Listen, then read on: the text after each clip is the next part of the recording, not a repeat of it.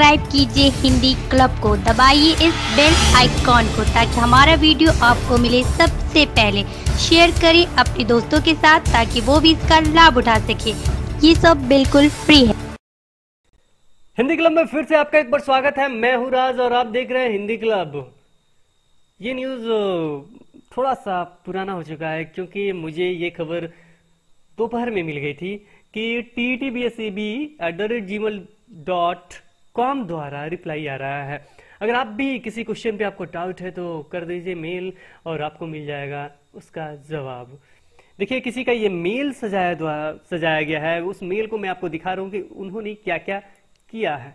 चलिए एक नज़र इस पर डालते हैं। उन्होंने लिखा है there are teen question which given wrong answer by board इन्होंने दस क्वेश्चन चूज़ किया है। दस क्वेश्चन उठाया है। उसमें से दसों क्वेश्चन को उन्होंने बताया जो आपके आंसर दिए गए हैं। वो गलत है। उन्होंने कैसे लिखा है? देखिए डियर सर आई एम यहाँ आई एम के बाद अपना, आप नाम लिख लेंगे। उनका नाम था, मैंने मिटा दिया ताकि सबको नहीं पता चले। I had been appeared in BTET exam in math and science stream it's it's held on तेईस July 2017 okay. My roll number is इतना डेट ऑफ़ बर्थ ये बुकलेट नंबर ये सीरीज़ नंबर ये. Okay.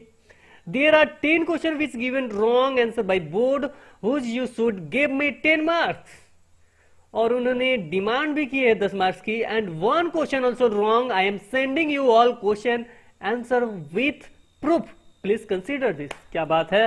उन्होंने कहा है कि आप इसको दस मार्क्स मुझे दे दीजिए। और एक क्वेश्चन और भी है जो रॉन्ग है, यानी गलत है, और सबको इकट्ठा करके वो भेज रहे हैं। और कह रहे हैं उसको कंसीडर कीजिए। चलिए उन्होंने पहला क्वेश्चन उठाया है। यह है आपका क्वेश्चन नंबर 19 सीरीज़ बी का। सलमा एक प्रारंभिक विद्यालय में शिक्षिका है। उन्हें बच्चों को अ, सिखाना बहुत अच्छा लगता है। शिक्षक के लिए तरह तरह के संसाधनों का कक्षा में रोचक प्रयोग करती है। Salma dash dash dash. अभिप्रेरित है। मैं आपको ये भी बता दूँ कि अगर जो क्वेश्चन ऐसा मत कीजिएगा आप लोग गलती, इस सब क्वेश्चन को आप लोग कर दीजिएगा। नहीं, जो आपको लगता है कि ये क्वेश्चन देना चाहिए, और खास करके एक अंदर की बात बताता हूँ, अगर आपको लगता है कि ये ऑप्शन जो है मैंने मारा है, यानी आपने तो उसको टिक करके बेच दीजिएगा, क्योंकि आपको खुद की फ़ायदा देखना है। फ़ायदा देखना है, ना कि किसी और की। तो चलते सर, इस प्रश्न का उत्तर आंतरिक रूप से अभिप्रेरित तो है। ये इन्होंने रखा है कि सर ये आंतरिक रूप से अभिप्रेरित तो है। इसका मतलब बोर्ड ने इसका बी आंसर दिया है। लेकिन जब वो शिक्षण के लिए तरह तरह के संसाधन का प्रयोग करती है तो उसका उत्तर सक्रिय रूप से होगा। यहाँ वो आंतरिक रूप से होते हुए अ, होते हुए कक्षा को सक्रिय संसाधनों का प्रयोग करती है। अतः सलमा सक्रिय रूप से अभिप्रेरित है।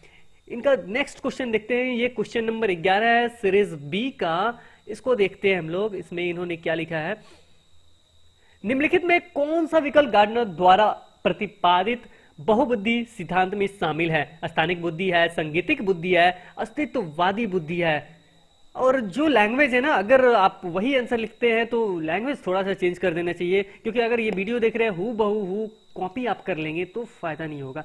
तो इसमें आंसर उन्होंने लिखा है। सर, इस प्रश्न का उत्तर मैं ऑप्शन डी डी ही दे रही थी। यानी बोर्ड का आंसर क्या है? तो डी है वन टू थ्री लेकिन आपके द्वारा स्पेलिंग मिस्टेक के कारण मैंने ऑप्शन बी टिक की, क्योंकि आपकी इस गलती के कारण मैं नहीं समझ पाई कि ये केवल आपकी प्रिंटिंग मिस्टेक है। मैंने समझा, इसे जानबूझकर इसे दिया गया है ताकि जल्दीबाजी में परीक्षार्थी गलती करें, कृपया करके इसका मार्क्स मुझे दिया जाए। यानी लगता है क्वालिफाई होने के विचार में है ये। चलिए question number twelve series B निम्न में कौन सा प्राथमिक पुनर्बलन का उदाहरण है? इसको भी इन्होंने उठा लिया है, शायद लगता है कुछ ज़्यादा ही लोचा है। तो इसमें इन्होंने उठाया क्वेश्चन नंबर ट्वेल्व है, सीरीज़ भी है। निम्न में कौन प्राथमिक पुनर्बलन का उदाहरण है? ये ये मतलब हिंदी क्लब का नहीं है ये किसी का है, लेकिन आप लोग कंसीडर कर सकते हैं अगर आपको फ़ायदा चाहिए तो।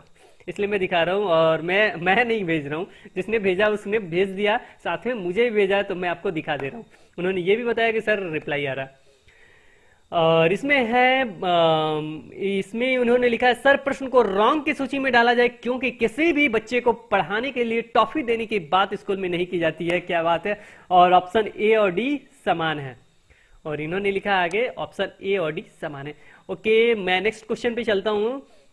निम्न में कौन से पदार्थ घोलक हो सकते हैं? तारपीन का तेल अल्कोहल गिल्सरीन तो यहाँ इन्होंने लिखा है according to Bihar text book option C is right answer option C is right answer and also i'm sending below a screenshot of this book you can also watch in bihar textbook on page number 47 47 यानी इन्होंने लिखा 47 page number पे। देखिए option C option C correct so please give me one marks for this question क्या बात है? इसके लिए भी उन्होंने मार्क्स मांगा है। तो ये हो गया आपका क्वेश्चन इन्होंने थर्ड लगाया। निम्न में कौन से पदार्थ जल के अलावा भी घोलक है? तो इसमें देखिए, इसमें दो चीज़ है। तारपीन का तेल, किरोसिन तेल। तो इसके कारण उन्होंने दो मारा था। यहाँ अलकतरा भी है को यहाँ घोलक लगाया है। यहाँ किरोसिन का तेल लिख के लगाया गया है।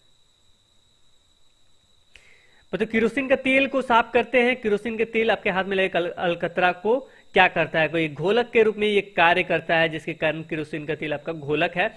इसी कारण इन्होंने इसको टिक किया था। इसमें तारपीन का तेल था। इसका मतलब उनको पता चला कि तारपिन का तेल घोलक नहीं है।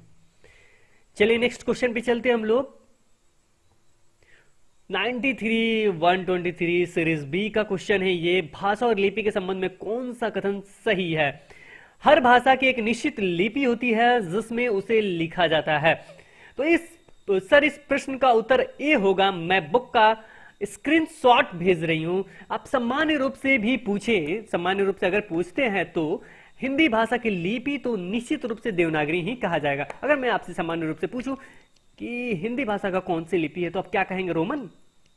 कि या कोई और लिपि का नाम लेंगे? ज़ाहिर सी बात है, आप एक ही लिपि का नाम लेंगे, वो होगा आपका देवनागरी। को देवनागरी ही कहा जाएगा, ना कि रोमन या कोई और। अर्थात सभी भाषा की एक निश्चित लिपि होती है, जिसमें उसे लिखा जाता है। इसके एवज में उन्होंने स्क्रीनशॉट क्या भेजा, वो भी मैं देख लेता हूँ। बोली और भाषा में अंतर, इसकी लिपि इसकी एक लिपि अवश्य होती है। अगर वो भाषा है तो उसकी एक निश्चित लिपि होती है। इससे भी है और मैं देखता हूँ इन्होंने क्या भेजा है। प्रत्येक भाषा की एक लिपि होती है, हिंदी की लिपि देवनागरी के नाम से जानी जाती है। यू नो ये डायरेक्ट लिखा प्रत्येक भाषा की एक लिपि होती है, जिसमें उसे लिखा जाता है। यानी ऑप्शन ए तो लगभग करेक्ट है, उसको हटाना थोड़ा सा मुश्किल है। अब यहाँ चर्चा चलती है ऑप्शन बी थोड़े फिर बदल के साथ किसी भी भाषा को किसी भी लिपि में लिखा जा सकता है।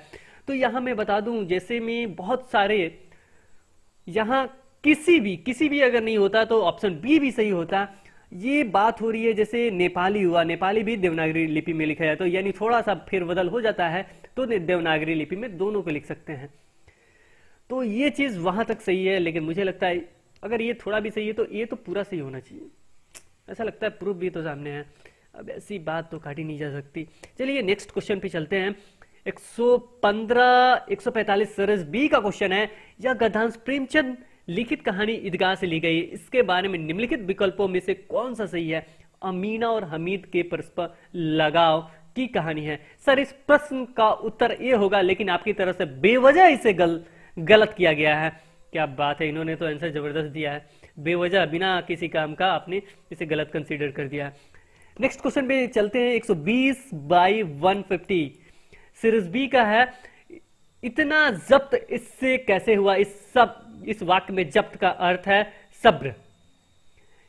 सर इस प्रश्न का उत्तर ए होगा। मैं प्रूफ में आ, मैं स्क्रीनशॉट भेज रही हूँ। उन्होंने प्रूफ में स्क्रीनशॉट तो भेजा जब्त दबाया हुआ। यानी उन्होंने इसे सब्र के रूप में दिखाया है। ओके नेक्स्ट क्वेश्चन इनका इंग्लिश से संबंधित है। It's no it's no use to talk talk के जगह टॉकिंग लगाया है। और उसमें बी में मारा इन्होंने। He did not agree with with के जगह इन्होंने टू लगाया है। टू लगाया कि इसको सही किया है। इनका कहना है 100 मतलब 96 बाई 126 और 97 बाई 127 दोनों प्रश्न आपके द्वारा गलत उत्तर दिया गया है, लेकिन इसका वास्तविक उत्तर क्रमशः बी बी होगा। यानी नाइन्टी सिक्स और नाइन्टी सेवन का इन्होंने बी आंसर दिया है। और इसमें क्या सजेशन में एस को इन्होंने गोला किया है? यानी विथ पर्सन या टू समथिंग यानी यहाँ पे उन्होंने क्या किया सजेशन में एस नहीं लगता है। ओके। और यहाँ हम लोग आगे बढ़ते हैं। क्वेश्चन 101 से 131 है। इसमें इन्होंने लिखा है। 101 131 ये प्रश्न आपके द्वारा गलत किया गया है, लेकिन इसका वास्तविक उत्तर सी है। मैं स्क्रीन शॉट भेज रही हूँ, देख लें। ये बिहार टेक्स्ट बुक के क्लास सेवन के chapter 10 the lost child page number 76 से लिया गया। क्या बात है? उन्होंने तो पूरा डिस्क्रिप्टिव ही कर दिया है, और ये रहा विथ यहाँ पे विथ इन्होंने फिल किया है, और इसके बाद इनका खत्म हो गया। Please help me thanks and regards लिख के उन्होंने ये कर दिया है। तो ये वीडियो यहीं खत्म होता है तो मेरा भी वीडियो यहाँ खत्म हो जाना चाहिए। और मैं आशा करता हूँ आपको वीडियो निश्चित ही अच्छा लगा होगा। और मैं ये भी कहना चाहता हूँ कि आप भी स्कूटनी के लिए डाल दिए तो हाथ थोड़ा सा मोड़ लीजिए और डाल दीजिए आप भी उनको mail T T dot B S C B ये रहा at the rate Gmail dot com इस पर मेल कर दीजिए, खुद ही आपका आंसर आपको रिप्लाई में मिलेगा।